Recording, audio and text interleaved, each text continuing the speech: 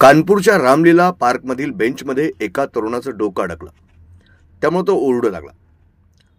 तथापि मध्यरात्री त्याच्या बचावासाठी पोलिसांनी धाव घेतली आणि त्याची सुटका केली. स्थानिक वृत्तानुसार तो व्यक्ती दारूच्या नशेत होता आणि झोपेत असताना त्याची मान बेंचमध्ये अडकली. कानपूर पोलिसांनी दिलेल्या माहितीनुसार रविवारी मध्यरात्री एक तासापूर्वी एक कॉल आला होता. उद्यानातील बाकाच्या मधोमध एका व्यक्तीची मान अडकल्याची माहिती पोलिसांना मिळाली.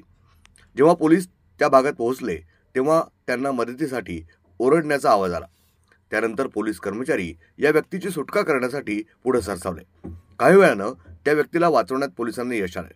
ब्युरो रिपोर्ट न्यूज डेस्क महानगराची लाईफलाईन मेट्रो न्यूज.